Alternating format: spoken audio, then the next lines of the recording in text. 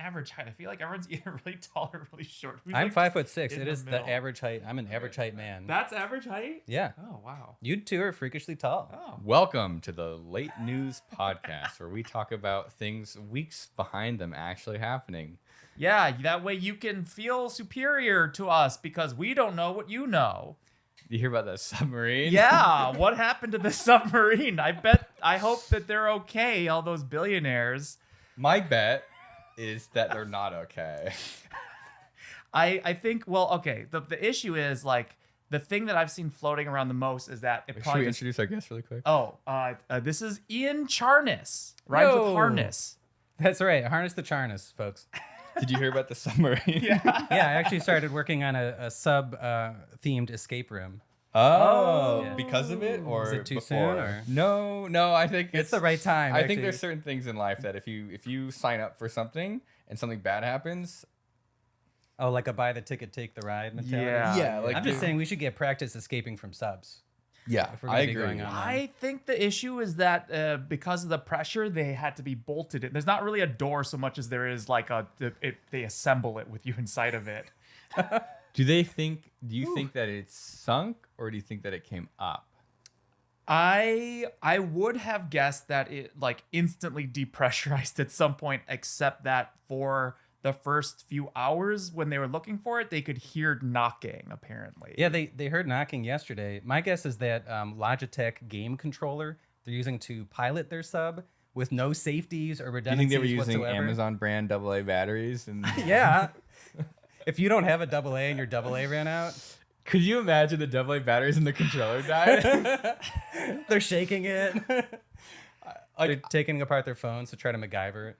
everyone's sort of. I mean, it, it's like it's sort of cursed, right? Because it is it is like really shitty, and at, but at the same time, like you can't you can't get onto a rocket or into a submarine like that without understanding that there's like an actual serious. Yeah, chance that something goes horribly wrong. The biggest issue for me is the fact that they would tout it like as a positive thing that it was Yeah. like off the shelf parts. Yeah. When the thing is like the reason like NASA doesn't use off the shelf parts is because sort of your quality control and your failure rate are way higher than you would want to be if you were Yeah. making like a rocket ship for off the shelf parts. NASA needs a thousand dollar bolt, not a fifty cent bolt. They need a bolt that you can track its entire lineage. I don't know. I don't remember where I saw this. I don't know if it's true, but it did sort of blow my mind and h- illustrating how these like the the cost of things is affected by this. It was a story about a factory in China that would make click pens, like just regular pens that click.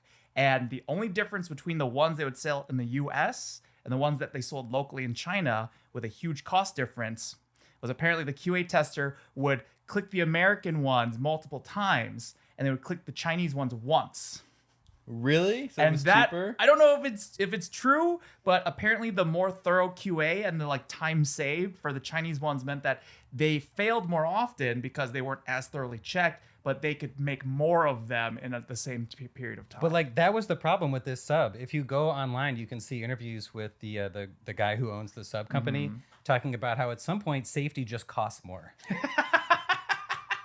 Oh my god! Like he's he's got to be thinking about that right now. and you don't they don't want to pay for right, so that you save money by not paying for the safety. Like I get it. I I definitely sort of jive with that, but that's literally like probably one of the most dangerous things you can do. It's like getting in a like it's like getting in a rocket. Like seriously, like you're sort of going Yeah. you're going to a situ- you're putting yourself in a situation where if something goes wrong, you're going to die. yeah, Poseidon's not going to help you. Yeah, like it's, not- it's not even a not safety help thing you. at that point. It's like it's like do you want to die or do you not want to die? like I'm sorry.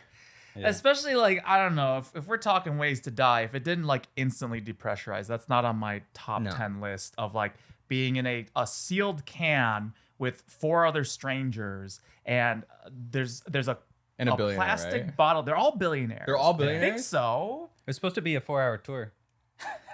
They got, they're getting a lot of bang for their buck. Uh, is Jabba the Hutt a Fortnite character? At If this not, it should point, be. I would not be surprised. Isn't like everyone in Fortnite? I would start playing Fortnite again if Jabba the if I could play Jabba the Hutt. That's about I- how long they've been gone. I mean, speaking of little Jabba the Hutt, look at this. Look at this Oh, little I job see of what the we're doing hut. right now. I want to talk about my little baby. segue. I just spent a fortune. I got a call from Alan a couple months ago, and he was like, "Should I make a walrus wearing a beret plushie?" And I was like, uh, "I didn't tell you no. What did I tell you?" you said you said that you weren't going to say no, but that I should probably either not do it or figure out how to do it a lot. And I decided to not listen, and I did the smallest, most expensive per unit batch possible. Like, if you can't sell a thousand of them, don't Right. sell a couple hundred of yes, them. I and. I said I'm just gonna sell a couple hundred of them. That's what they end up costing like twice as much. a lot, yeah, yeah. This is an expensive little baby, but I'm now that I can see it in person. Actually, I'm I'm very. It is very soft. I was comparing Yeah. it to something else here that's very soft earlier, and it's, it's a toss up. Ah. Let me see. Let's compare. Yeah. This is less soft. less soft. Yeah, Yeah. yeah. Uh, I spent uh, several thousand dollars for this for this sample. That single sent. plushie. for the single plushie. All the other ones are free. This one was several I, I thousand. love your dollars. sales pitch is not even like if you want one, you should get it. You're like, please, Please, please, please, at oh least God. let me break even. It's like I swear to God, half half of the decisions we make is like you come up with a stupid idea and then you just you plead with the audience to help bail you out, and then the enjoyment they get out of it is watching the, the flaming disaster that is I every mean, single haven't business even decision we I haven't even figured out how exactly I'm going to sell these. I don't even know if they're gonna be on sale by the time this comes out, or if they're still gonna. They they might just be gone. Oh, is there or just not that's even. the only one that was here? This is the only oh, one. Oh, I got thought some of those boxes were that. No, that's mine. That's no, open no, no. crap? This is this Oh is a God. sample. That's open source stuff. I will have I will have 200 of these ready to sell at open source for Okay. sure. We talk about sure. the suckability of those walrus teeth? Yes, they do look like little walrus nipples coming out of his mouth. If you look at it straight on, it, it they- they're a little they're a, A baby would latch onto that You know, They're tit immediately. uh, Chelsea's dad has He's latching. His, He's he, latching he- right he has obscenely long nipples, exactly like that. And he used to pick them up from school shirtless because he's kind of like a surfer bro. And they would like plead with him to wear a shirt because it's like they're like ridiculously long. Like it's, deflated balloons. it's yeah, it's like curse. I'm I genuinely don't understand how how um I they're you know they're like little like Mike and Ike's. Did they just come like that, or I don't did he know. stretch them out? I should ask. Chelsea. Like, Like there's a yoga for that. is she? You want to try and get her? She's not gonna want to talk about her dad's nipples on the podcast. but but were they? Did they start that long? Was it gravity? I- was it? It's dude, I I genuinely have. Oh man, You can work it. I saw uh, there's this old old timey health nut called Jack LaLanne. He uh, died when he was like 106, and everyone thought he was going to live forever. But he had a series of videos He would where he would stretch him? he would exercise individual muscles in his body, and he would exercise this one in the leg and that one in the face. And eventually, he ran out of muscles, and he put out a VHS tape, which stopping I, his heart. I found at unique thrift store called Jack LaLanne's Facials. okay. He found a VHS tape at a thrift store called Jack LaLanne's Facials. And Jack you bought it. LaLanne's Jack Facials. LaLanne's Facials. And Okay. you bought It was 25 cents. Was the did the cartridge come out of the paper packing or was it sort of stuck in there? it was his whole family and him doing face. They look like this. Oh, okay. They were exercising their face muscles. And it was like a DVD that at, or a VHS, Jesus, that at one point was actually sold. Like people bought this and then you just got it at a thrift store. Or Oh, was yeah. it like a family tape? Oh, like a like an unreleased Yeah, yeah, yeah. behind the scenes they footage of accidentally Jack donated it. it was No, this it is like was- a real. It was a product at one point, Yeah, it was a published uh, video series. and so they like it was it like teaching people how to move their Yeah, teaching you how to move your face. If you've Like- never tried moving your face, pick up a copy of Jack LaLanne's Facials. Did they have like six packs on their foreheads or like on their cheeks? I've been doing these exercises every day. If you're wondering how I still maintain a, a supple chin. I feel like doing it would make your face more wrinkly. No, yeah, Oh, you just Ri- kind of like Ripley. Ripley. yeah. just give it more more duty cycles. Yeah, it seems like you're you're kind of wearing it out. Because wasn't there there was that guy who like stuck his head in a particle accelerator and it paralyzed the side of Oh. his face and it's just like visibly more youthful because it just never moved after that. Mm. I think it's like use. It's like the more you use it, the more It's like the Disney animatronics where they like the more they move the silicone, like the foam skin starts tearing and they look like they're like zombies. Yeah, yeah, I think it's like that. So that so Jack LaLanne, I think, is maybe making people look older, but also stronger in the face. How long is the tape? You know, these are 90 minute tapes. Well, Holy crap! Tapes Yeah. of a man doing face exercises. What what is the how long, point? how long could you keep it going? Because Jack LaLanne kept it going for 90 minutes. Oh my god, I think I would give up after a couple. I also have a really short attention span though, so I'm assuming if he's done, if he did every muscle, then there must be a Jack LaLanne's Kegels, right? yeah. Mhm. There No, I- I, have no idea.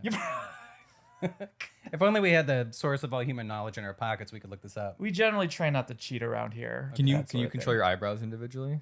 No. Um, mm, I can tilt it, maybe. Almost. I can do a Almost. wave. I mean, Oh, you got the ElectroBOOM wave going on. This this is a lot of practice. I can't I can't go the other way as well. Is that weird? Like I can go I can go from left to right. They start getting tired really fast. Though. yeah, I'm already starting to Yeah, feel Can you make from- uh, can you make a water drop sound? Did you get that? That's that's pretty good. I can't do that. Seven years of college. Seven years of practice to get that right. How do you do that? That's just how long I went to college. You uh you flick you flick your It's not working. You gotta get the microphone deeper in your throat. Wait, you just. What part of your mouth is doing that? you're you're moving your tongue and your soft palate. So I was doing it right.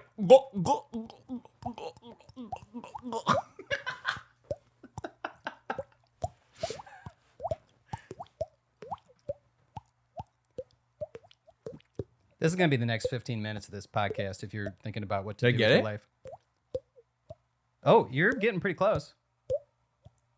It's kind of Yeah. like a it's like a whistle and a flick You- at the same yeah, time. you like and you um you're trying to move air forward. So you're closing your soft palate at the back of your mouth and then lifting your tongue a little bit. Can I ask the editor to just fake in a for me a, a perfect drop sound effect? Like a splash. I see.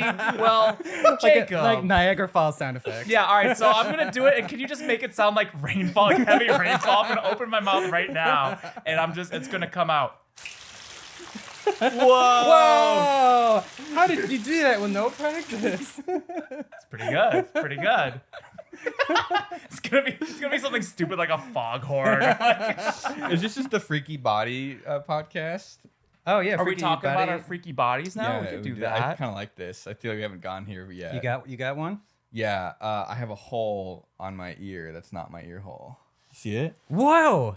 What is that? Oh, It's a, Why do you have it's that? a it's a cloaca. So yeah, exactly. So it's kind of gross because like sometimes like kind of gross You smelling could stuff barely comes keep out of it. anything My in dad has one on both sides, and my sister has one on only the right side, and mine's Oh on the my left God. side. what? I have no idea. It's like a. It must be some sort of weird, just like unsealed thing. Like a nipple? That's the beginning stage of evolution. It could be you, it could be a four-eared human. I, it's going backwards. Like Couple my dad had million years. two, and my sister and I only had one. So like, I feel like you would you would expect more holes on different parts. I had a friend whose uh, brother had a hole above and above his butthole, Like- and it, it was like it was like a you know a, it was a cloaca. It was like a, a cul-de-sac. It was a, a dead end. Just like a belly button, kind of. but it was, it was above and behind his butthole and his mom freaked out and took him into the hospital see like my son has two buttholes And they're like, no, that's just you can put Skittles and coins in yeah, there. I would They keep stuff said- in they That's like an actual prison wallet. yeah. yeah that's yeah i guess on your on your high school guidance counselor career path test they're going to factor that in you do great in prison. body height ability I mean, if you've got a micro SD card, yeah. i think You this have a could have fit computer. a non-micro card Like I- really? yeah Is that big? Mm-hmm. it's rumored to fit a thumb Whoa. Yeah. i i mean i don't want to publish unsubstantiated you know I'd want to see evidence. unresearched, only partially researched. I'm This trying is to word of think word of- of word of mouth, word It's to not- mouth. it's- it should be peer reviewed I don't think I have anything freaky that was born with I can think of off the top of my head. Right now, the freakiest thing is just that uh, this part of my thumb and hand are numb. Because I was trying to arm wrestle a really, really big dude, and I built an exoskeleton so that I could try and arm wrestle him. And then the issue is that um, He the was, ex he was too strong. he was very strong. The exoskeleton did great. Uh, the guy did great, and then my hand was was, just in two between trash the two trucks with a smart car in the middle. Your hand was the smart car. The wrestler and the exoskeleton were the trash trucks. Yes, and so I was able to beat him, But but, you I can't- pinched a nerve somewhere. I think. But did you win? Uh, I suppose I, I won the battle but lost the war. I think it's Yeah. coming back though. I think I give Yeah. it like two weeks. I, think I it saw uh, come back. Alan without his uh, pants on. He was wearing shorts yesterday. Yeah. He has bruises all over his legs, and I'm too scared to ask how he got them. Well, let's see. I got I got this cut the other day when we were uh, doing metalworking, Mm-hmm. and then this is all from the arm wrestling exoskeleton, just because there's Jesus just various Christ. bolts that are kind of still sticking out that I had. You know that like, looks like one of those, like a kind of like an, a scarred arm from like needle injection sites. what? Wouldn't it be here? Why Well, is it what on I'm saying. here? It's just sort of in the wrong spot. Yeah. And then yeah, I've got I've got bruises. Just I don't actually know where those came from because the the suit It's a doesn't huge interact- bruise. Yeah, right here there's a gnarly one. I think that might have been. It looks against, like a walrus slapped you. It was. I think it was the arm wrestling table because I had like one of those professional, legitimate arm wrestling tables, and part of it is like you can use like your legs with their legs on the tables That's for hot. leverage. And I think I Use think it, your legs with the your Yeah. Your, your like you're intertwining your legs with them. yes, yes, yes, yes, yes. Well, with, with the table legs, not Is with this, your Oh. is this, oh. is this all? the table legs. Okay. Yeah, Okay. I- I mean, I Right. think you could probably do that to your Yeah, you, opponent's you could have ran with that. I would have 100% believed yeah, it. I thought this Like, was all a cover for playing footsie Yeah, with you're, some you're already dudes. entangled up here. Why not add down Yeah. there too? I think you could probably do that as like a mind game thing if Yeah. you wanted to try and get your foot around their foot while they were going. Okay, I got this too. Is that I a, got is that a double the- joint? Uh, here, let's see what I got. style. Can you can you do double snaps?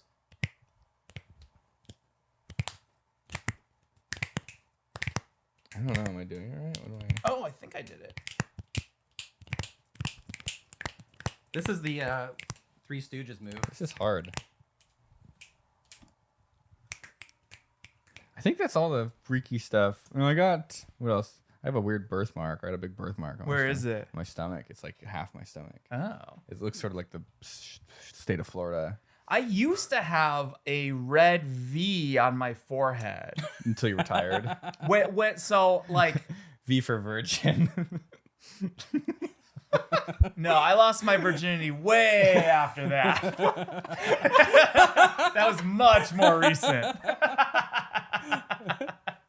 It was a it was a red V that I think stuck around until like middle school roughly. Cuz I remember when I was 11 reading Harry Potter and thinking like, "Oh, cool, I kind of have like one of those." It was just a birthmark. I don't know what it was.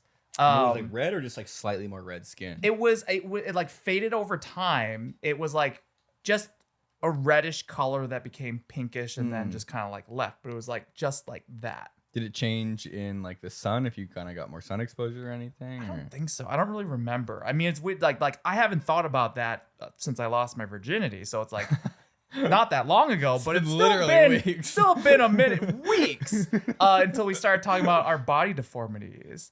I thought this was going to go to sort of like a Voldemort level. Well, that's. I mean, that's why I kind of like was starting to sign it. when and- I was reading Harry Potter, I was like, oh, like you know, you, you kind of like imagine as a kid, like, oh, like maybe I did have like a wizard kind of adventure when I was a baby and I don't remember, right? That'd be cool. but you didn't. It was just a normal. I don't think so. I think I just had a fucking fucked up genetics, the normal route. the normal. You're just like everybody else except slightly worse. But it went away. It went away eventually. That's my plan for most of my health ailments. Oh, Just wait, for it to go. It will. Yeah. It all goes away And eventually. yet men live eight years You know- less than women. you can. You can make them go away faster by climbing into a DIY submarine. no. Full my circle. Full circle. Is that a callback? that is such Yeah. old news. I was reading about um, the the fact that it's made out of like a composite. I think they said it's carbon fiber. Carbon fiber, or yeah. some- I read somewhere else something different too, though. So it's like who knows at this point. Yeah. Um, but then I was also reading that like, and it makes sense that like a composite doesn't really make sense in that that load that like pressure orientation of like like a composite works well when the fibers are being strained in yeah. tension, like a paintball canister. Yeah. But not. not the other inverted way. Paintball So you would need like a like an inverse sphere. Like it doesn't make sense because at that point the matrix, Oh, the, you're like, the saying glue, it doesn't work well in compression. doesn't work well in compression, right? Because you the fibers, you know, it's like rebar and concrete is meant Mm-hmm. to uh, do the tension loads. Yeah. And Oh yeah, the pressure on the outside is greater than the air pressure on the inside. yeah, So- yeah, you're right. So it's like the container's trying to uh, implode, not explode. Mhm. And so it's, I think, like, I mean, I don't, I mean, I am a mechanical engineer, and I would say that generally my gut would say that it is a bad idea, but I don't know You too much about composites. Steel, Donnie. Yeah, it just sort of seems like it would What's make sense steel? to make it out of steel, but it's it'd be hard to make it out of steel. I think that's the problem. Yeah. The composites are sort of moldable, where the steel is like making a big piece of steel like that would cost a fortune. Well, But- yeah, but they they don't just make it like you have uh, ribs and you have a skin. Uh, I mean, isn't that how subs are I think yeah, you probably could do a pressure vessel like a like a cylinder or a sphere out of steel and not do any ribs or anything if it was thick enough. Because they really, honestly, at that point, like how much engineering can you put into it other than just like it's like the manufacturing defects that are gonna screw you on a sub like that. Like it's like you could say, oh, like we only need three inches of steel, but then you like one weld is a little wrong. Mhm. you know, like it's almost like better they just sort of for something like that just go go thick. You know. At what point would it become feasible to just use an unconscious but still living whale body as a submarine? Because the whale They can't go that deep. can they not? No. I don't really know how whales work. I think the only time they go that deep is when they die. You ever seen the I video thought, where I thought crabs they come were from? like they went like deep under and fought like giant squids and yeah, like, but epic no, I, they do. But I think this is like Way this is like deeper than that. Deep, This is, like, Deep, deep. Like I think the things that live yeah, it's down at the there. bottom. It's got to never be at the leave. bottom. That's where the Yeah. the Titanic par- Right. parked. okay, So, like, okay. So they parked the Put a Titanic. bunch of that'd be the greatest meme. Put a bunch of parking tickets on it. Little sign like No only parking. 50 years parking. Only. Imagine they go down there and there's just a no parking sign. Like you could dude, wait. We could probably like you could make something and drop it down. yeah. there. Yeah. but you'd never see it. I guess. but you'd somebody would so- eventually oh. see it, and they would be like, "Why is there no parking sign down Yeah, here?" we'll put a GoPro on a half mile tether and just Yeah, imagine that Mr. Beast video. We put a no Yeah. parking sign next to the Titanic. just make it out of Jimmy. tungsten or something. Jimmy, when you watch this podcast, we're ready. Long time viewer, first time commenter, Jimmy Donaldson, aka Mr. Beast. you know what he does on his free time? He plays mobile games. Yeah, I would too. Did you if- say Muggle games? Yeah, I mean, yes. I didn't say that, but what did you say? Mobile games Oh, mobile. for muggles. okay. it's a very small audience, but they do pay a lot. Is this uh, when? When is this gonna? When is this gonna, gonna come out? Our our schedule's doesn't been matter. wacky. Is this like? Is this? Do you think? Is this after Open Sauce? No, or Open Sauce before Open is like like a little less than a month from now.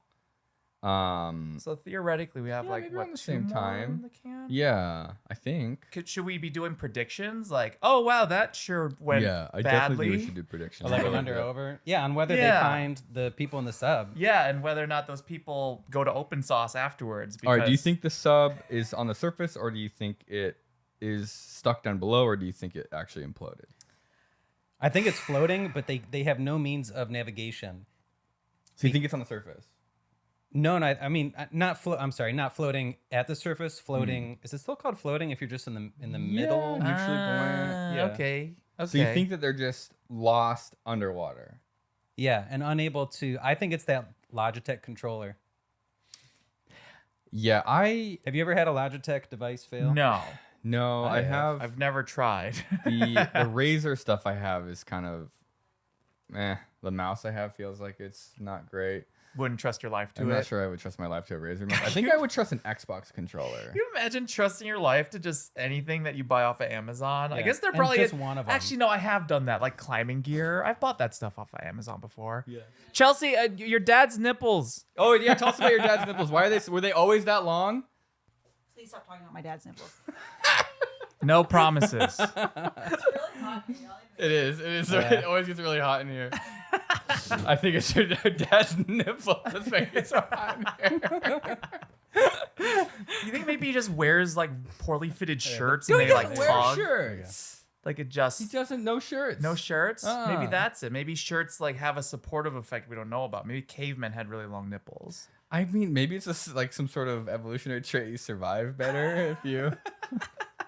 You know, like how like like how old timey people their teeth are way smoother than ours because they just had way more like grit and sand and shit in their food. Maybe it's like that, but for nipples. Like we don't realize what these are usually shaped like. Yeah, that would make sense. It's probably better for like rock climbing too, because you might be able to grab onto the rocks with them. Yeah, it's a good adaptation to have. Oh, do you have a grippy chest?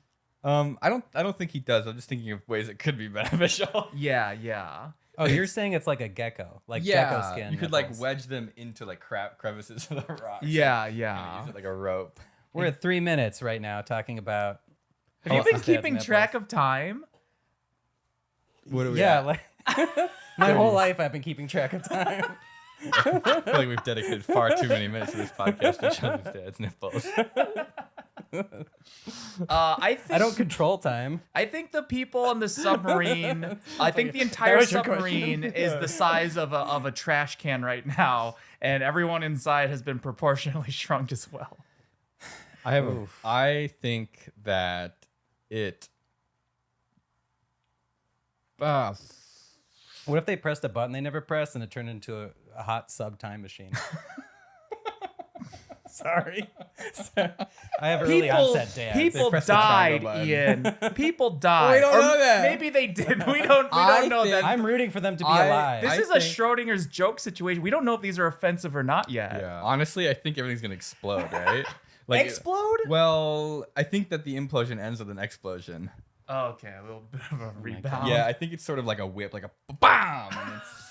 I think everything sort of inevitably looks like it exploded. Is my guess. I'm not comfortable with this conversation. Um, my guess, if I built this submarine, the thing I would be probably most scared of is the control system because you can't have, or I mean, at least the way they did it, I don't think you can have anything leaving the container. So that pressure vessel doesn't have any, or shouldn't have any weaknesses via wires or any sort of signal. Like there's no deviation in the pressure vessel. That would makes it the strongest, right? Like there's, I like no welds, no nothing. So yeah. Oh, a, a monocoat. A mono, monocot. yeah, Yeah. monocoque.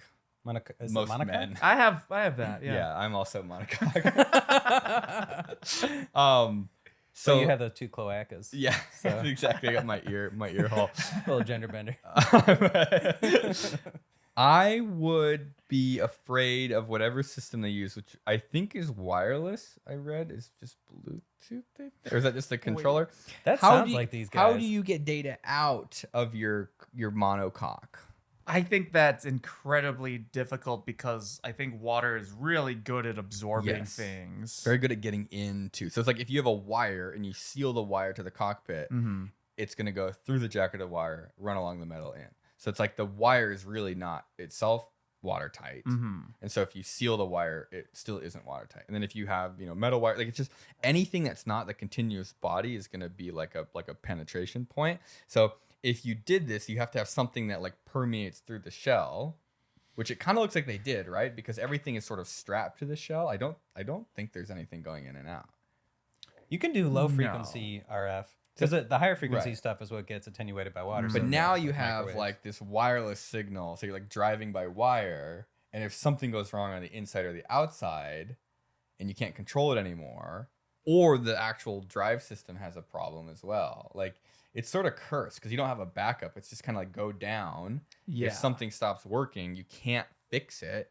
And then someone has to rescue you, but nobody knows where they are, which means they're probably not on the surface because I'm guessing there's a transponder on it. Right. If it So, made it up. Like, did the transponder, like, the only thing that's probably like regulated and actually works is the transponder. so it's probably not that, which makes me think they're not on the surface. So they're either like trapped down below or they lost their like buoyancy control and they can't come back up.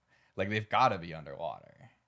Okay, okay. I mean, that's pretty reasonable to like why it wouldn't be on the surface. Maybe they're on the surface and they were just shrunk shrunkified. I think they're tiny. imagine on the they're on the surface. surface, but they still can't get out. Like fresh Right, air that's a is possibility. right I think that they would have found them already if they were on the surface. yeah, because like visually, it's so much easier it visually to see. and I'm Yeah. assuming like why would you you've they've got to have some sort of transponder on it because even if they come back up and they're way out of where they're supposed to be, the boat has to know where they are to pick them up. Right, the ships. Like, right. It, it, I mean, I don't know anything about ships, but like there literally has got to be some sort of transponder. Like there's no way that they would not put something on that. Yeah, the boat needs to know where it, it. The boat knows where it is by calculating first where it's not, Right. and then subtracting that from Where it also isn't. Can you imagine? where it could be and where it's not. Yeah. Can you imagine having a billion dollars and then being in a situation where no amount of money will buy you out of the situation? I, that is the that is the thrill. Like I think that's how you become a billionaire. Is everything is so boring. I mean, we've had this conversation with other, other things that are way more inappropriate. Right, and, right. Like everything in life becomes so numb that you start like doing things that are like I don't know, just like risky or crazy. right, because there's whatnot. no, there's no other possible thing that could be that risky if you have billions of dollars at your Right. disposal. Because you essentially have like a get out of free jail card Yeah. for almost anything. You even have a better chance probably of surviving cancer than your average person if you have a Yeah, billion dollars. Like yeah, there's certain things yeah. that like even even like that money will help you no matter what, except being stuck in a submarine at the bottom of the ocean. But just imagine, like, at some point when they were designing this sub, somebody said, "Why don't we add a, like a little bit of redundancy in the safety?" And they're like, "No, no, no, no, no, No, no, no, We don't. That's just gonna cost extra. Yeah. we're never gonna run into that." You know what? I guarantee you, if you had to ask the people on that submarine right now if they would have been willing to pay half a million instead of a quarter million for the tickets to make sure this didn't happen, they They'd would say all unanimously vote yes. The yes, yes, we would have Yeah. paid twice as much to make sure this didn't happen. That's I think how most things get done in in the real world too is that people are willing to spend twice as much money when a disaster happens instead of spending a tenth of the money to prevent the disaster. Yeah. And so you end up with all the disasters still and then the nightmare to get yourself out of the situation. This sounds like the project Alan and I are working on. I'm trying to prevent him from getting injured. I I I am Mix of video very But But every confident. conversation we've had, I'm very confident that I uh, look. If I haven't gotten hurt so far, I must be immortal. So I'm I'm feeling pretty safe about what So we're doing. this is literally how most crazy things were invented, and I commend, I commend you. I commend your spirit. Well, I that- commend your delusion. that's that's that's the, like that's the that's the um what's the word that's that's the the paradox right or the like the Survivor the, bias, uh, the, the dilemma right because it's like it's like we've talked about this before how did the a bomb get invented you put a dozen uh, kevin's backyard scientists Yep. in a room They're not trying to kill people. They're trying to make this thing go boom. exactly exactly but it's like it's also like you need a certain amount of recklessness to make anything new Yes. you just you need to like if there's a small chance that a, a nuke could ignite the entire world's atmosphere a reasonable person would never test it Yeah. But a reckless person would go, well, the odds are really, really good Yeah. for us not igniting the entire Earth's atmosphere, which was like a thing that they like at Yeah. first thought could happen. Yeah. So I, I don't know. I it's important. we gotta like do it. if you don't I'm gonna keep him alive. everyone says it's too risky because you don't know what's going to happen, but you're never going to know what's happen going to happen unless you take the risk. Mhm. So you end up never doing anything. I feel like we've had this conversation before. We talked about we should be more lenient with like like kids getting hurt. Yeah, yeah. I think if football, if football can exist, then oh my god, football's way worse. our chemistry kits should be more dangerous. Yes. I really think so. Yeah. Like compared to if you look up old toys, I mean, like Kevin's done videos about this, right? It's like old toys used to be really dangerous, but they had cool stuff. Like there was Yeah. one that was like almost literally a gun, and it came with um, what's that? What's that rock that produces acetylene when you when you put it in water? Carbonite. Yeah, some so it's like it's like it was a gun that had like a flint igniter and it gave you some of those rocks. And the idea was it was basically a cannon. They told you put the rocks in this can with some water, wait like you know however many seconds or minutes, strike the flint, and then it fires the projectile. That used to be a real toy that I mean, you could buy awesome. in It's a like magazine. Mining helmets, right? What what is it called? Co- co- can- can- Cotton candy? Cotton candy? I don't. I don't remember. Ketamine. Ketamine. Uh, rocks that produce acetylene They, when like, you, you put, put them in with water. water and they like Mo- produce- monocoque.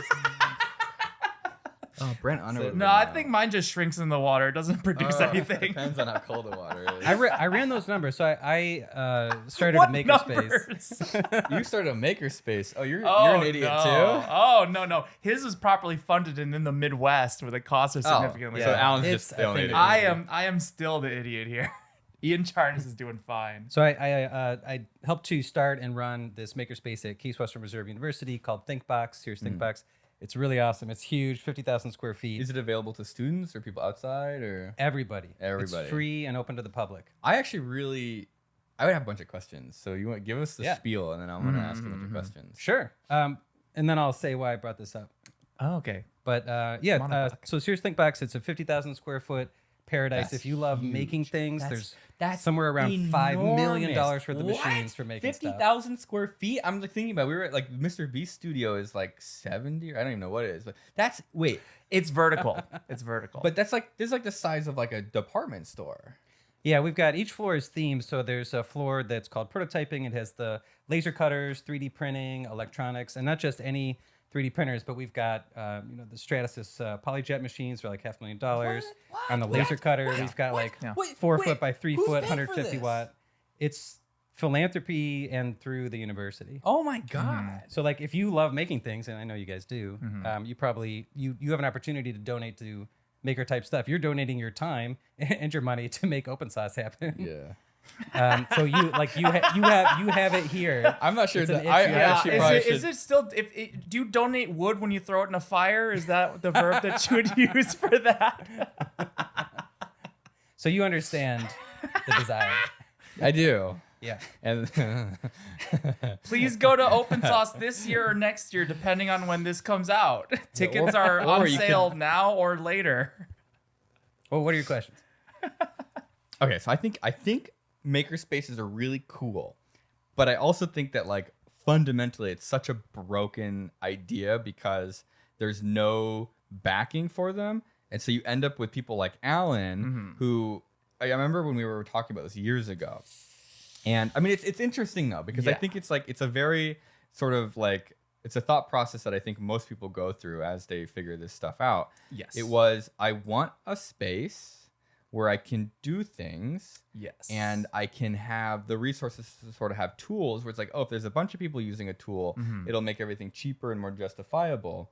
And like the idea is good. It's almost like a workplace where everybody can use the tools, but it's sort of like funded. It's like you sort of you look at it from more of the like community aspect of like what if we did a Mhm, mhm. co-op without necessarily thinking about the social problems that come with it. right. And so you end up in this situation where people say like, well, $30 a month is too much money to charge for a membership without realizing that what they're getting is probably actually worth a couple hundred dollars a month and that the people who are doing the work to make sure that everything does work are are eating that burden. Yeah, my defunct makerspace, uh, we had to charge. It was like 140 a month Yeah.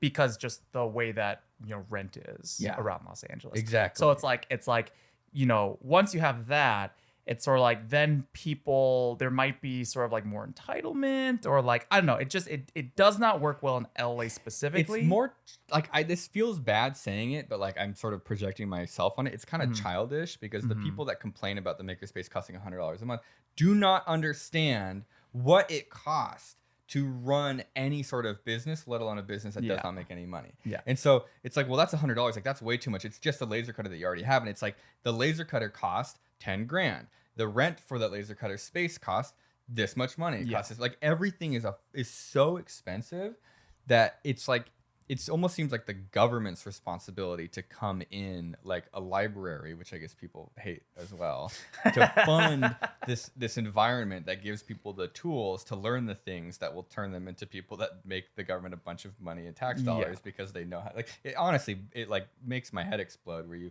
you sort of treat everybody treats investments as like monetary instead of you know like time and money like food stamps Yeah. and stuff. It's like give people food and you will make money, but that will probably only happen 30 years from now, but nobody wants to look at it like that. So like my question is how does it work? Like how how is it funded? Because like if you can just get a bunch of money, you can make a makerspace. If you take Mhm. the financial burden off the the makers that are coming there, you can like run a functional makerspace. And that seems like the hardest thing that everybody runs into. So like how did they organize a functioning makerspace? And not even functioning. It sounds like this sounds like a top tier like engineering. it's very facility. cool. It's very cool. Yeah, I think you hit all the right talking points. There's just about no makerspace. Like the so you you did not fail in particular. The the model of a community funded makerspace. Right. It's a disaster. Not Even great. even the the biggest one, which Yeah. was TechShop. Yeah. TechShop Oh, yeah, got ten, died. Yeah. tens of millions of dollars of funding from the federal government. Mhm. They got grants from the vet, uh, Veterans Administration. couldn't do it. They still had a hard time keeping them going because of just how much money it takes and how hard it is to sell the membership model. Mhm, Um, yeah. They they try to sell classes, they try to sell storage space, they try to Mhm. sell kits. Um, the ones I know of that are still going, uh, there's one in uh, in New York, uh, NY Resistor, which Becky Stern's a part of. That's still oh, going. Oh, very cool. Um, but it, that's different. They're they're not aiming purely at um, this kind of public outreach where you're having classes. Mm-hmm. It's it's a group of friends who are getting together and it's it's their space. And you can apply and you can join. That's what you want. But But you it- want a bunch of friends with tools. yeah. You don't want to have like a communal thing. I think that and they, they have this model Yeah. they call a do-ocracy. Like rather than trying to have open hours and staffing and maintenance plans, it's a do-ocracy where it is chaos. Yeah. It's barely organized chaos, but if what is do like you do it like do yeah, it's like, like if you, if you think the laser cutter should be moved over there, you, do it. just, You do, just it, do it. and you tell other people that you did it. And if someone cares about it enough to move s- it back, then they do I it. think- oh God, I wait. think- I feel like this. There's a different I hope I word got for that this right. that's not do-ocracy. no, I, I think this is the only way to do it though, because you turn everyone into the shop manager. Yeah. And then uh. you kick people out who don't function as a semi-functional shop manager. Because you like you you cannot like you dealt with the nightmare. Like Yes. you think that it's noble doing a makerspace until you have to deal with some of these assholes. It was definitely a decision that a 26 year old would make. That is definitely what I did. like like you think it's like this is why we can't have nice things. I think it's the definition Yes. of a makerspace. Is like you literally it doesn't matter what you do, people will come in and ruin it. Mm. And there has to either be a an enormous amount of money to compensate for that, so you can have actual staff that are running it like an organization, or you control the people that are coming in and essentially say like if you don't do the dishes, no one else is going to do the dishes. This place is going to fall apart unless Yeah. every single like you force the people to fix the problems because no one's going to come in and fix it for them. yeah. At, at a university, we're really lucky. We've got funding from the university. It's philanthropic. There's people like me who are alumni who say, "Yes, this is what I wanted to see when I was a student. I give money out of my paycheck every month." Fortunately, there's people who can add a lot more zeros at their check, um, and that's how it's funded. We're, we we everything is free. It's there's no hourly fee to use the equipment. There's no fee for classes. There's no fee for storing. Wow. samples. the, the mind-boggling thing for me because i took a tour what like two years ago or something um was like like every i think every time you showed me a new floor i was like this is available to the public like this too like this Like what? A water jet welding studio. Um, So the water jet is completely free too. Yeah, the, there a there's a there's a that? couple things that are consumables, and we're trying to get it funny. The garnet for the water don't jet even- cutter, you- we can't give that away right now. Okay, so you do charge you. I mean, that makes sense. Yeah, it's Yeah, that's a fixed it's cost. a minuscule. Yeah, yeah. You know, it's pennies. Yeah. Yeah. yeah. I like I, it ju- ju- I just like it, it was unfathomable to me that like like like someone could come in and after taking whatever like the required like um classes for that and paying sort of like dead minimum consumable cost could just use something like a wire jet cutter Yeah. especially because like the one that you that you have in that space is what's what's the what's the bed size like it's huge It's right? a little bit more than four foot by four foot because it, it's metric. I think it's Right, right. 55 by fifty five. right half meter by half. Wait a minute. It's an Omax 55 55. I should know what that means. It's a little bit more than four feet. by four feet. 55 feet by 55 feet it's the biggest sheet of plywood you've ever seen in your life to put on it. So So when it's, uh, like our model, if you want to think of it as a business model, you were talking about business Yeah. models, is reduce the barriers as much as possible so people come in and make very cool things. We take the photos and the stories of those very Mm. cool things and we go to the donors to say, this is what we've done. Are you happy? If so, can you keep this going? Right. Mm. So we went to the state of Ohio. The state of Ohio said, oh my gosh, this is an economic engine for the area. You've helped over 250 companies get going. They Mm. brought in over 240 million dollars to the area in investment and sales. They donated uh, eventually two million dollars towards the capital cost. So it, it's a different model. It's a it's, it's like a loss leader model. Yeah. I feel there's a lot of like I think California's a little too fat and happy for that too. Where it's just like, like, Yeah. look at this thing we did, and they're like, we don't give a shit. right right and it's kind of like eh, like like it, it, there's a really weird thing where it's kind of like i think there's there's like people who would sort of be around this area who would want access to those resources uh usually have enough money to afford those own resources and like th- th- there's not really a price point that makes sense to go into a makerspace around here Yeah, well, because there's much the nothing membership good enough. It's like the Yeah. chicken egg problem, right? Like nobody knows really what you can do with a functioning makerspace Mm-hmm. like that, and so they're really like no one has gotten it started. Like my like I think probably one of the biggest blessing, a couple of the blessings I had growing up. One was uh, the wood shop I had in in middle school was like Mm-hmm. phenomenal. Um, the old teacher died. They shut it down for a year. It was like sixth grade. Uh, seventh grade, they brought a new guy in. He's awesome. I think it's Radley, Mr. Radley. He uh, basically decked out this wood shop to be like probably the most efficient, like kid-friendly wood shop you've ever seen in your life. Like there's no table saw. There is a circular saw that's trapped in a track. Yeah. Mm. And so Track saw. yeah, but it's it was all Yeah. it was all built by him. So it was a, the track was literally just Oh. more wood that captured the saw. Put- I think it was Mm. battery powered, or I can't remember exactly. So, you put, so was this like, wasn't like a Festool track saw. Nope. This was something. it was it was like a circular saw Yeah. trapped in a little wooden trap. Oh wow. And so the guy he did everything. what's his name? Uh, Radley. Go, Mr. Radley. And Yeah. the there was a router table, but there were belt feeders. So you put the piece into the belt, and it would suck it through the router, so you never really get your fingers under there. Mm. Um, I th- and there were only like a couple of like minor accidents, and it was always stupid stuff. Like this one kid was like leaning into a, a lathe, and there's like the threaded uh, part on the back to put the bowl mount. So if you want to have the bowl on the outside of the lathe, Mm. and he like stuck his finger in it while it was spinning, and it, like stuck his finger. Just what? Just to see what would happen? yeah, it like circumcised his finger, like ripped his finger out, and it like just like peeled the. So that skin that off the topic is why I brought this up to begin with because you were talking about football. Um, oh, ear- okay. Here early we in go. the days, I we give a lot of tours. A lot of parents say, you know, parents of prospective students say, "Is this safe?" How do you- Nothing do is you- safe. Well, let me give you the answer I give to the Yeah, parents. it's, it's no say- submarine. They say, "How do?" How, yeah, Has anyone the new tried to build a submarine? You should at show Big them. You want to send your kid to in the submarine to the bottom of the ocean, or spend a few weeks in our workshop. So the parents ask, "How do you keep my kids safe?" And it's an earnest question. So I, I give them an earnest answer. I say, "Nobody uses the equipment unless they're properly trained. Nobody uses the equipment unless Mm-hmm. they're properly supervised. And that's how we maintain safety. There is a risk. There are injuries that happen every now and then. We've had almost 600,000 visits, and there's been a few times, less than 10, where people needed uh, people got a cut. A Yeah. couple times needed to get stitches. How do we measure that risk? Next door to us is the gymnasium where the you know there's the football team and everything. If you participate in college sports, the I looked this up. The risk uh, of death or or injury, major injury, is 1,000 times what it was in our makerspace at that point. Yeah. Now I'm not saying don't do sports. Um, I'm saying there's a value to sports, right? Team team building skills. People are dumb and they, under- they understand sports more inherently. They're like, Yeah. yeah, this is good. And they're like, makerspace like, like, screaming animal noises, don't know what's going on, confused screaming. I mean, at that rate, almost it- it, like have, did, have you ever like looked it up compared to like traffic accidents? I feel like that The cars are safe, Alan. I feel like the that way that they got their kid to the college was perfectly safe. I think at that point it may be riskier. Uh, the drive to the makerspace may be riskier than being in the makerspace once you yeah, get there. I think the drive That's to the airport true. is riskier than getting on yes, there. Yeah. yes, Like, yeah. You can they, you can do direct calculations, and I think like uh, what do they call them? Actuaries, or whatever. Like have done this sort of thing of like um, sort of like uh. How many deaths, as like a thought experiment, how many deaths do increased airline tickets cause? Because when airline tickets go up, more people drive, and there's significantly more people that die from that than when they fly on an airplane. So you can literally do like fun math that says like, well, now that like jet fuel is a certain cost, how many people did that kill? like the cheaper that the submarine tickets Yeah. become. It all goes back to the sub.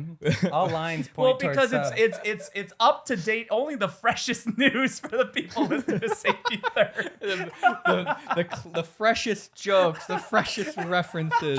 Nothing stinky or stale about this shitty podcast. Well, hopefully, if we do enough of these episodes, someday we'll just accidentally like uh, say something that happens in the future. We'll accidentally like have some precognition.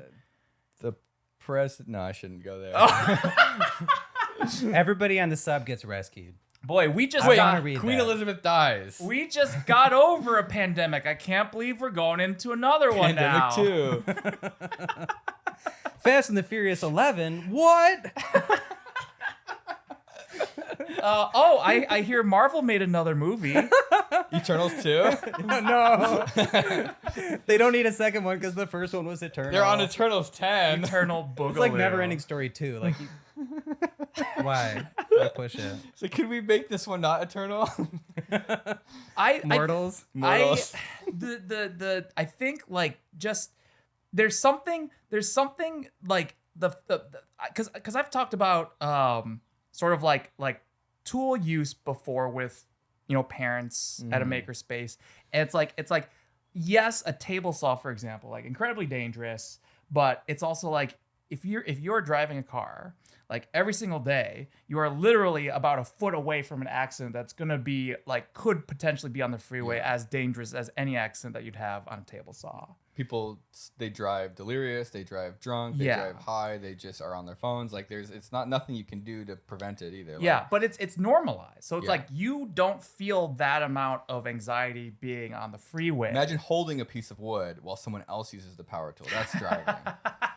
and they could be drunk or high or on their phone. So it's all about that normalization. Like when I'm on the airplane, uh, like I, I know the numbers of car accidents versus airplane, but when I'm on the airplane and there's turbulence, I'm gripping my armrest and I Yeah, have so to the fact that you're even thinking about these numbers while on an airplane means that you're still uncomfortable on the airplane. yeah, I have to tell myself like Ian, you know this is safe.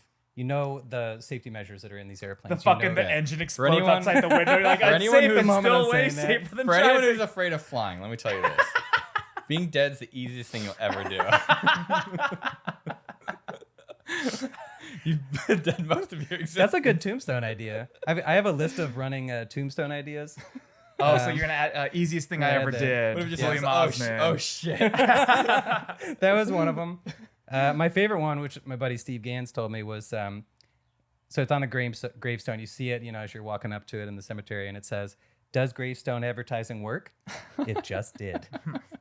what about uh, I shouldn't have eaten that lasagna? Oops. I think oops is still like Oops. that's my favorite. Of just Short and sweet. Simplicity. You do the whole thing in four letters, yeah. I think that that really it's it's uh you know uh for sale baby shoes never sold never worn. It's Yeah. it's it's like that level of simplicity. Yeah.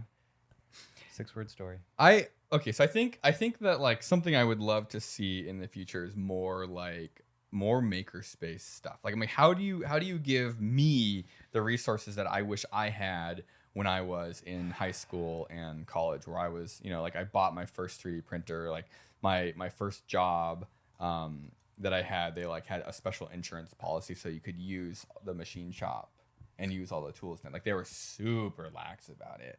And it just it's impossible for most people to get access to stuff like that. And a makerspace is kind of like it's like a library for building things. Mm-hmm. And you don't even need like crazy stuff. Like even having like 3D printers and a computer and like a piece of CAD software is like the bare minimum. Like what do you think the the pathway to having libraries essentially for tools in, in the future? Like, is it government? Is it like private? Like, how do you get people to do it? Because it's just otherwise, it's just somebody working for free. Like, Yeah, where where it's working is schools and libraries. I mean, you you were already onto it. Like schools have funding for these kinds of activities. They're enrichment learning activities, um, and they can be used like we use it at the university for almost every class. People walk into that space and they think this is for engineers, but we have chemists who are 3D printing folded pro, uh, folded proteins. We have a, a history class that came over and they made um, astrolabes and sextants to practice navigating the stars. There's biology. There's art history. They're doing 3D scans. Of I'm sorry, sex what? sculptures. Yeah, how many of the kids Sex- giggled? sextant. Sexton. and this is a family-friendly makerspace. Is that how you make babies? That's why they make editors. tons, well. sex, tons, tons of sex. They can't all be winners. It's okay. Humor judge rules. Guilty. So, so how do they? How do they just come in and apply, or how do they even find out about the makerspace? Like, The uh, part of my job is faculty outreach, so I go in and try to get the faculty to bring their classes to the makerspace.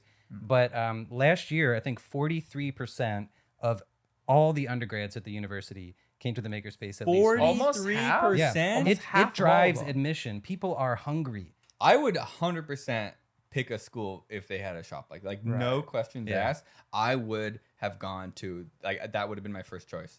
Like there's a place that lets you build all these things. Like that Mm-hmm. honestly to me is was, was one of the like I never I didn't apply to MIT. I just sort of thought I wouldn't get in. Um so who who knows? I probably wouldn't have gotten in. Um, but that I think was one of the big things is it sort of has this notoriety of being a very like hands-on. There's a bunch of like like Yeah. weird clubs and like sh- like everybody there is just sort of got that like community that I think I was like really looking for when I was younger because it was just me and maybe like one or two other friends that kind of liked making stuff but like I mm-hmm. was sort of the hardcore one. And I really really really really desired exactly what you're Right. doing like I wanted that and I 100% no questions asked that would have been my main goal to Well, go on the on the plus side, I don't I I don't think any YouTubers that I can think of went to MIT. So if you went to MIT, you would have been Didn't too Diana? successful. Diana went to MIT, right? Oh yeah, did she she did she do like a pro some some MIT program? She think. have one of her degrees, one of her multiple degrees is from MIT. Yeah. I Well, think if if you had gone, you would have been too successful, and you would have never done YouTube. yeah.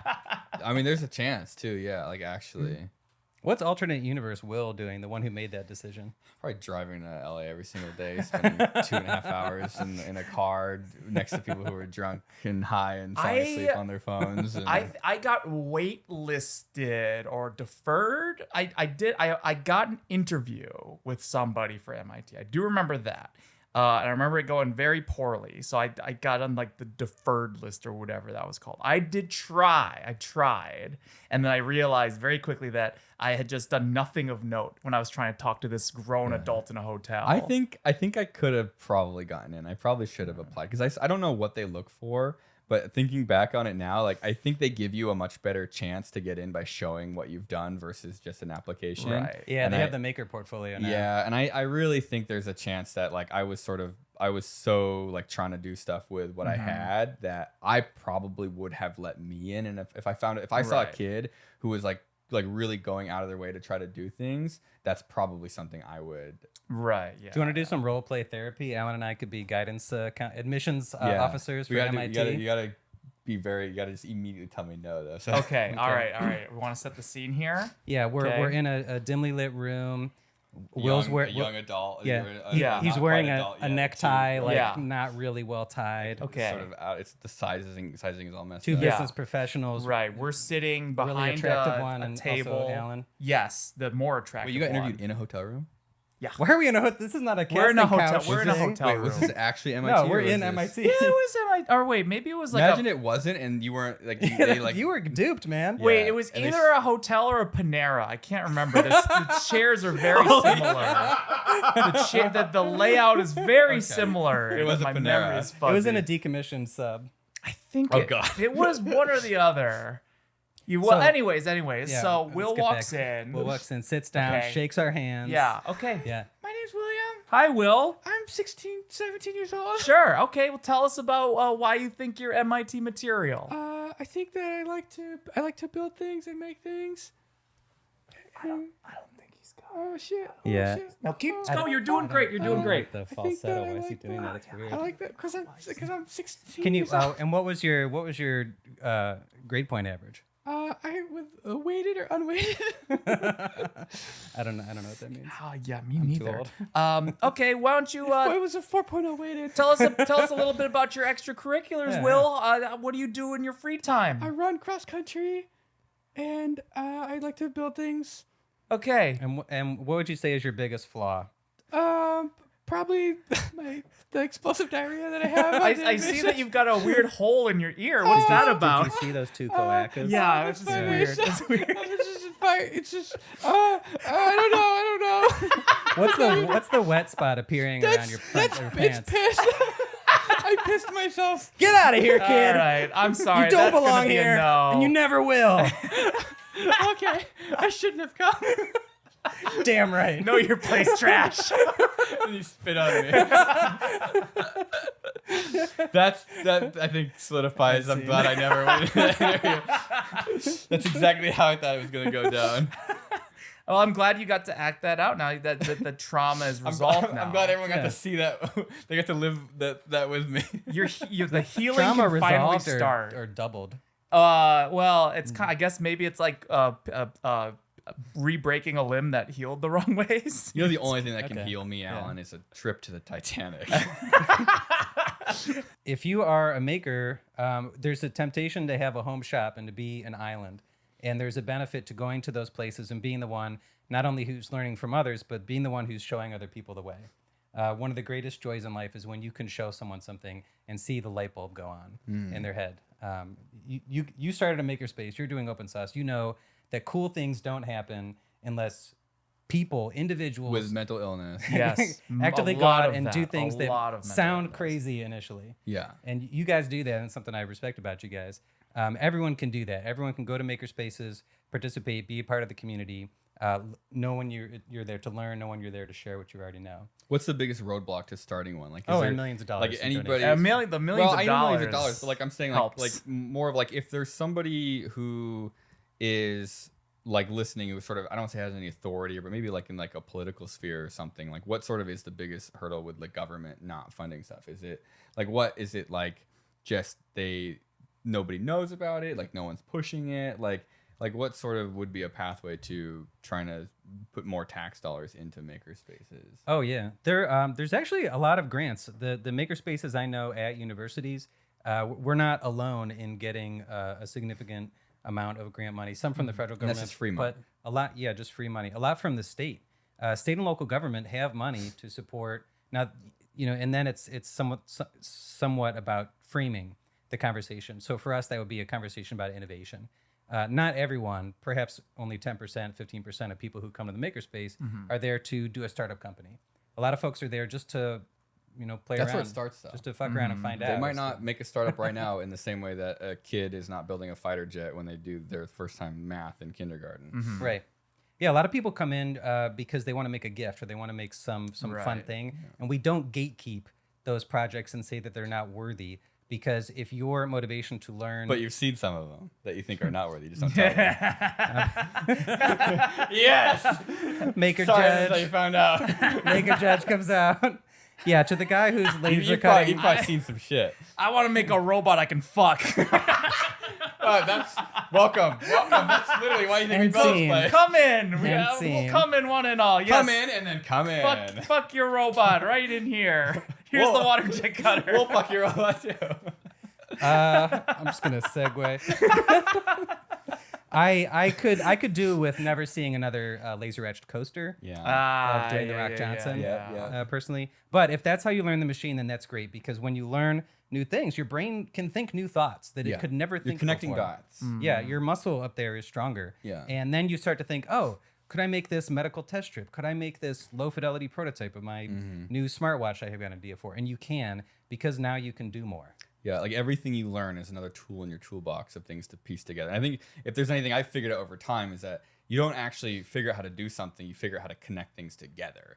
And then when you really do have to figure out how to do something, you're gonna bang your head into the wall until you actually like like I'm trying to build something right now and I'm like it's a box and I went to fold flat and I'm like looking at like different hinges and stuff on mm-hmm. Amazon and it's like I what I need to do is just buy some of this stuff and actually like play with it and see like how does it mm-hmm. work? Like where does the pivot point like is it sort of like a weird parallel parallelogram where it kind of expands as it goes? Like mm-hmm. because then it's like then I understand it and then I can put it into what I want and it sort of is like like in my toolbox of like oh I know of a hinge that kind of does this Right. like it, it does a hinge thing in a kind of a weird way compared to what a normal hinge does. and, Yeah, like where it can yeah. make have a virtual rotation. Yeah. And so it's like you just have to like do things and absorb information.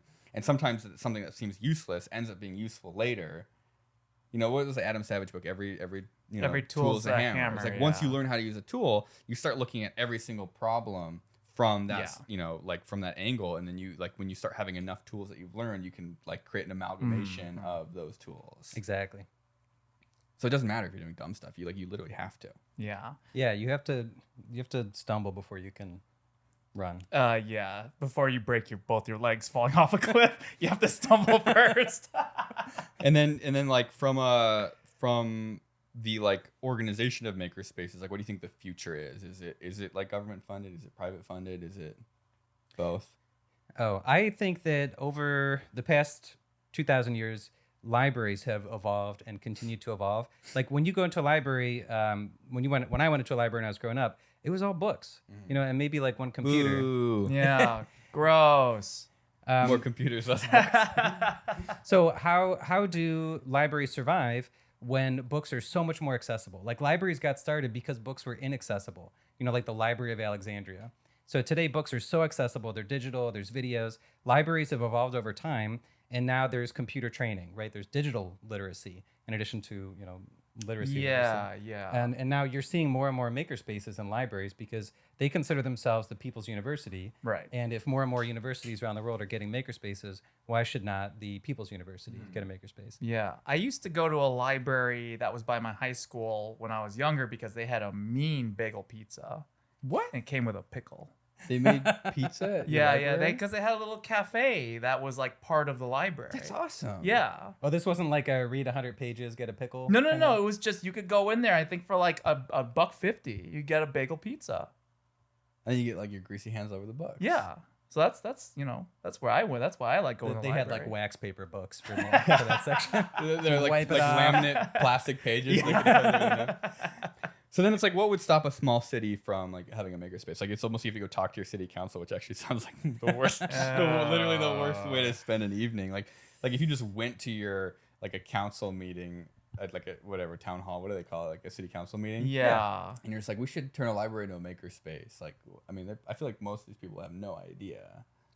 Yeah, makerspace is still a niche word, and people need to see it before they can understand it. Mm. Um, but there, uh, you are not far from a functioning makerspace. Almost every university, college has some makerspace or approximation. There's thereof. one in my hometown. so you can bring close bring you, your yeah. key decision makers to those spots Mm. um, to, to tour it and see what's. It's a lot of work. So you have to available. like make it first and then show them Mhm. the city and be like, hey, here, do you want more of this? Because there's been a couple that seem to have like they just don't ever really get off the ground because nobody wants to give them any money.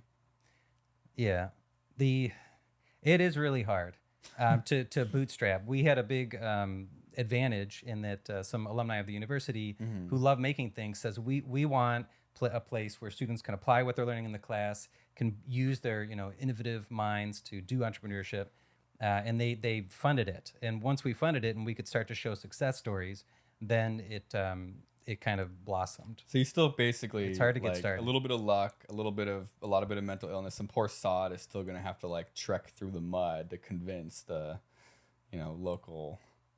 There's no easy button. You know, if it was easy, it wouldn't be worthwhile. uh, yeah. Still takes some sucker. You got to find one sucker to get the party started. They work for like ten years of their life, and then they finally get something like you know halfway functional, or But they you can- burn out and Yeah, and, and go back to YouTube. go back to YouTube. But you can be a champion. You can be a champion for something. Keep talking about it. Get an echo. The the the biggest success you can have is when you hear someone parrot your idea back yeah. to you. It's easy. All we do is sit in a chair and just talk about submarines and then Yeah. space for a bit, and then someone else can do all the hard work. yeah. You mean the editing? Uh, They're well, doing like if you're if you're if you Making are a listening makerspace. to Okay. this and you have millions of dollars and you Yeah. would like to help a local makerspace, and you would like to have less dollars. yeah, And- go, but you don't have enough to go on a submarine ride. go to google.com Wait, and if you're look- listening to this and you were planning on spending money on a submarine, but no longer want to spend money on a submarine, and that's extra money that you could give to uh, a makerspace. We will 3D print you a Titanic replica. yeah, Yeah, There's can keep probably forever. one closer to you than you think. If you go to google.com Titanic- Titanic and type in ti- Titanic makerspace, and Is it see on what Thingiverse pops Your right up. now? makerspace is kind of like the Titanic. My makerspace was the Ooh. Titanic makerspace. Hey, that's the, Low it, blow. it was a real thing. That's the it's way only the offensive that's if the way it's the, not true. the cookie sinks.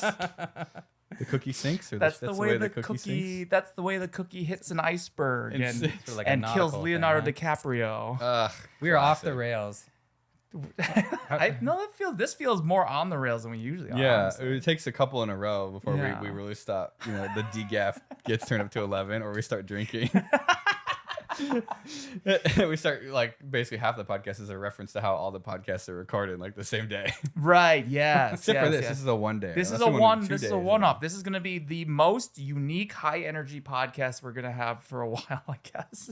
Well, thank you to our very special guest, Ian Charnas. Yeah. Uh, Anything you want to shout out or promote? yeah. Uh, you know, if you're if you're done with the subs, just hit the subscribe. Wait, Whoa, I can- hey! I can do Yeah, something. yeah, yeah, there you go. that. That's the, the one sub that won't kill you is Yeah. subscribing subscribe to Safety Third. it. Safety third. He wore it better. Um, thank you to everybody on Patreon who supports us. Have we been missing stuff on Patreon? Open Sauce has been. I is rotting. assume a lot of things. I think a lot of the comments at this point are asking why this isn't getting uploaded well, it's on because Spotify of open and sauce. So everywhere else. Basically, everybody that does anything around here has had their brain completely sucked out of their skull with a straw called open sauce. And That's it- the sauce. That's oh where the my sauce God, comes I, from. I this event is going to be buck wild. Can but you tell us why it's called open sauce? Uh, so we needed a name, and I was we, we were like contemplating stuff. We were just like, it's a it's a convention. So you've got con, it's Okay, a okay. it's a a- con, and it's become your job. So you could call it a a con, con job. con con, con job, Uh, job. con fair. fair con. fair con, fair fair. fair fair. Uh, How about yeah. Wayfair? Is Wayfair Wait. taken? maker maker. I I basically what it is literally is open sauce. Sorry, Jesus Christ, open source and like show me the sauce, like secret sauce. Right. Oh, okay. Like what is kind of your well, how did you do it, and, and then you're kind of sharing it publicly. It's kind of what it felt. It's sort of very community driven, and also not like a not an attempt to be literal. Mm-hmm. I think that giving it a sort of unique name lets it stand on its own and it's not like people aren't trying to figure out what it is. They have to know what it is. Like there's no Mhm. context. It's just like this is the thing. You need to know what it is. It gives you some clues, but it's not trying to say it's a convention or a fair or this Yeah. or that. you really put a lot more thought into things than we all give you credit for. Yeah, yeah. It's just you, you, the problem is you can't really share that you put a lot of He is into a stuff smart 'cause It man. comes across as really Yes. weird. No, you're ruining the brand right now. I can assure you he's not. Do your, No, I- your subs I- just go down from here? my the amount of effort I put into things changes depending on what I'm doing. It's to watch sort of probably the most fun aspects of making things. It's just like deranged, impulsive. Yeah, I always like to think of um, what was it, the, the the CEO of Coca Cola after the whole new Coke ordeal. Remember that? Like, what did he do? so it, it was it was like uh like Coke was competing with Pepsi, and so like in order to like get their market share back because Pepsi was winning the cola wars at that point. It was like what the the, the 70s or 80s or something. Yeah, I'm, Um, a, I'm a veteran of that actually. Oh, you remember that? Yeah. Okay, I so I, survived the cola wars. So you remember that during the Cola Wars, uh, Coke decided to do a campaign where they created new Coke. Old Coke is dead. New formulation. It's sweeter. It's like Pepsi. New Coke, and everyone fucking hated it. They hated it so much that they had to come bring back Coca Cola as original. And to this day, that's still on the cans, original Coca Cola. And It's like PTSD. after the whole ordeal and all the like the hoopla, Coca Cola became the winner of the Cola Wars and never has been on the The. Coke since. Wars. Yes, the Coke Wars. Yeah. The great. And so it was like the CEO of Coca Was this Cola. the this the FBI thing or the CIA thing? or was it different? Different Nixon? Coke Was it Wars. Nixon. That Oh. was Coke Wars 2, like Okay. Boogaloo. But the, I think it was like the CEO of Coca Cola at the time. Like someone asked him, like, was this entire thing like 4D chess marketing? Because you're obviously on top now. No. And so his response was, "We're not that dumb and we're not that smart." Yeah, that's always the answer. Is it's it's usually always the it. most literal, obvious thing. Like no one's gonna make that kind of a risk Mhm. on purpose, and no one's smart enough to know that's how it's gonna pan out. Yeah. I think that's that's like the the line that I think like to straddle, which is like the nice the Goldilocks zone. That's not too smart, not That's too basically dumb. open sauce. Is like I just have a really good feeling. I really like this stuff. It's sort of just me projecting what I enjoy, and then it's like, well, I think that if if that feels good to me, I think other people probably like it too. And then we just uh, sent it and Mm-hmm. Yeah. dug a hole. Uh, all right. Well, thank you everybody for for uh, listening or watching. Thank you everybody on Patreon. Have the names look gone across already? names. These- Are we still doing the name eating? No, I don't think so because the last time me and Kevin tried to do a bit in the video, nothing happened, and so I think maybe What if we just do ones that are lower effort? Like, Oh. like what if you like grab a name and you're gonna like move it down slowly? Oh, so that it's like Yeah, your just sort of- hand can just- just, well, kind but of match. Like it doesn't. Yeah, it just the make it speed yeah, yeah, of yeah, it, yeah, like, it was gonna Yeah, yeah, happen yeah. anyways. Okay, Yeah. so that way it's like zero effort. A little easier. Oh, look, that name turned red. Yeah. But can you do that with your butt? Can you move your butt like down slowly so that it? Oh, my butt. Yeah. Uh, I can move this thing's butt. Look. Okay. Oh, look, the walrus. Um, I'm gonna drop it, and it's gonna be the same rate as a, as a name drops. I think it might have been That's still pretty. That's actually still pretty hard to How do. many names still- are there? How much time do we need for the names? Can't be that many. Though somehow the bills are still getting paid, so maybe it is more It than I gets thought. shorter every time. Oh my god. Oh, uh, if you're gonna be at Open Sauce and you haven't done it already, you need to. And uh, you're a safety third uh, Patreon member. Uh, you we, we sent a form. I think it might be too late. I don't really know. Gosh. We're gonna try to do something. I haven't thought any of this through. We just have to make the event. Everything else is secondary. Yeah. Well, Whatever. Can I, Bye. can, can I give a shout out to my cat? yeah. I, lo- I love you, Pistachio. Does she listen to this? Yeah. Yeah. Oh, she's cool. a she's a subscriber. Hell oh, yeah. Yeah. put it on for the cats, Cat TV.